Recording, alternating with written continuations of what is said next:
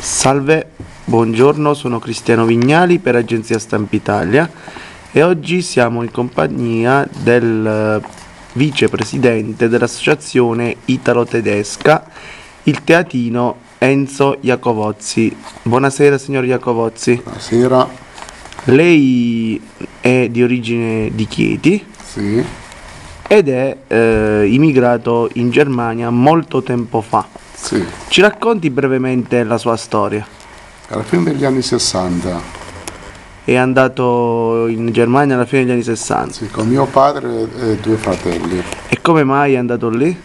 Sì, perché siccome mia madre è morta, noi siamo andati in Germania perché prima c'era pure mio padre in Germania per 5-6 mesi, è ritornato in Italia, ha detto dai andiamo in Germania, cioè no, perché eh, mio padre qua aveva lavoro perché era un lavoratore, perché c'era un po' di ingiustizia, detto me ne vado in Germania.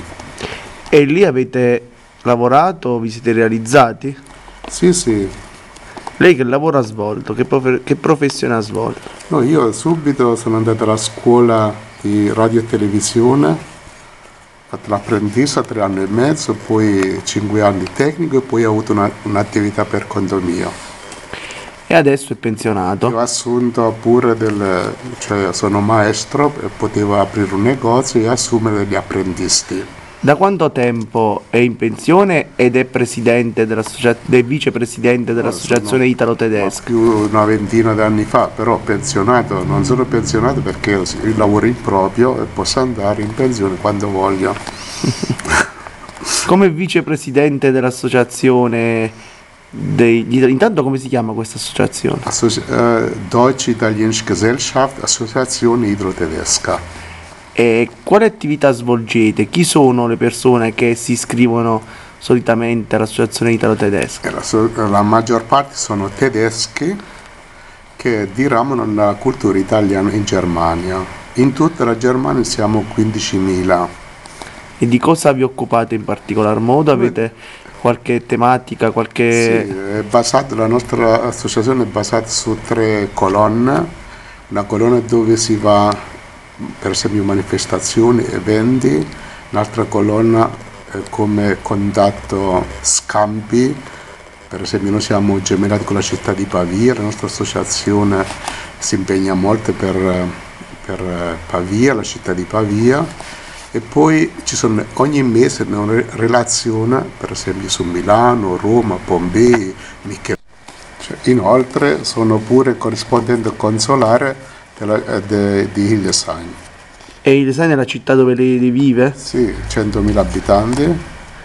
E mm, adesso eh, io l'ho vista qui a, qui a Chieti, presso un hotel della città, il Grande Albergo, eh, dove ha portato e porta spesso dei tedeschi. Eh, lei eh, quindi ehm, ama l'Italia, ama il suo paese. Sì, naturalmente, sono sempre, quelli- sono sempre attivo quando succede qualcosa in Italia, come per esempio il terremoto a a- a- strapirame- straripamento del fiume Pavia, la- in Abruzzo, eh, quando c'è Terremoto? stato il terremoto di Abruzzo. Ehm, e poi questo tedesco in vengo io è un'associazione di professori di ornitologica e botanica. Ma quali prodotti in Germania eh, soprattutto vengono, i, i Made in Italy vengono pubblicizzati? Quali prodotti italiani vengono pubblicizzati in Germania? I prodotti agricoli, dici tu? Eh, manufatturieri agricoli, quali prodotti vi interessate soprattutto?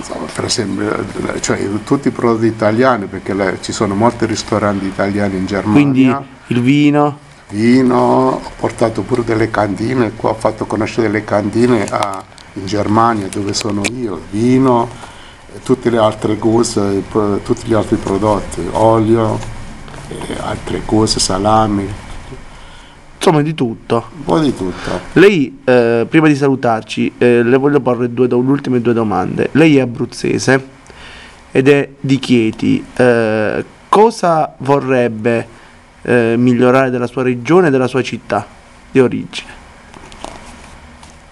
c'è qualcosa che eh, quando viene qua le col- colpisce particolarmente e vorrebbe che sia migliore?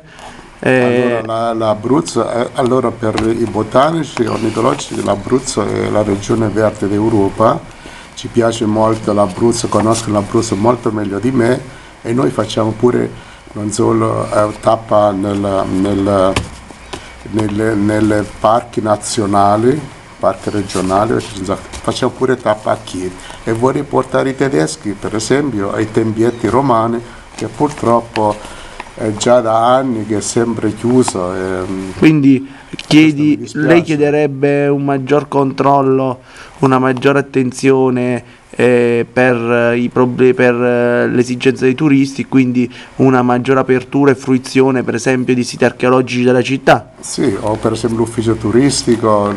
Cioè, lì, è chiuso l'ufficio turistico? Ehm, non è che è chiuso, no, non ci sta niente, cioè mm, deve suonare il campanello, esce una persona, cioè non è, è poco, non è, è poco accogliente. accogliente. Sì.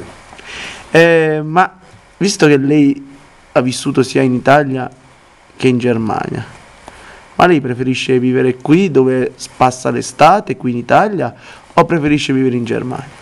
Allora c'è una frase, dove io mi trovo sto bene con questa massima ringraziamo il signor eh, Enzo Iacovozzi, vicepresidente dell'associazione Italo-Tedesca.